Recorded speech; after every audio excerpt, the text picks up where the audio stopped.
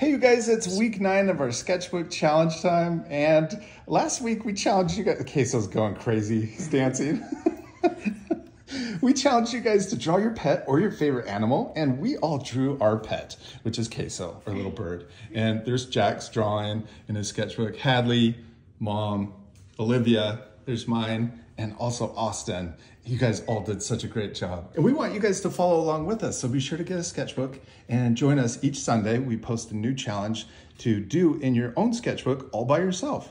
Okay, Austin, what is the challenge for next week? Draw what you want to be when you grow up. What do you want to be when you grow up? A queso trainer. A case, you want to train animals, Yes. especially queso? Mm-hmm. You're doing a really good job.